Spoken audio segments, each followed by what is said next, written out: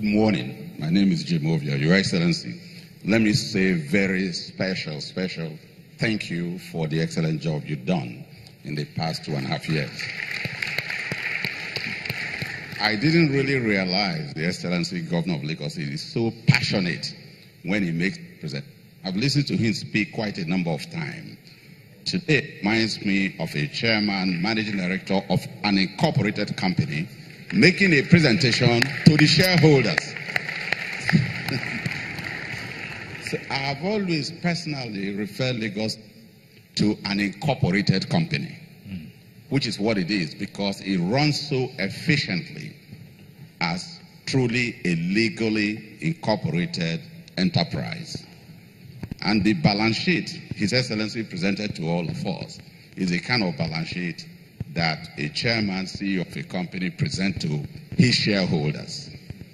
So, Your Excellency, we are definitely one of your shareholders, and we will renew your mandate, there's no doubt. Not only that, the Excellency mentioned three very focal points, areas. One of them, and more importantly, or most importantly, that I love the most, is the area of security. Those of us who run businesses in Lagos, we do not want to make profit, and at the same time, we can't sleep at night. The Excellency has ensured a tremendous amount of invest investment and also support of what Lagos State Security Trust Fund had started about seven years ago, eight, nine years ago, so to say. He has retained and maintained that initiative. I think we should put our hands together for the excellency.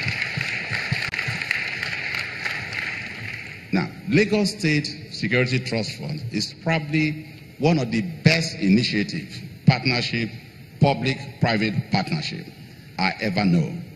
And other states are beginning to emulate and copy that initiative.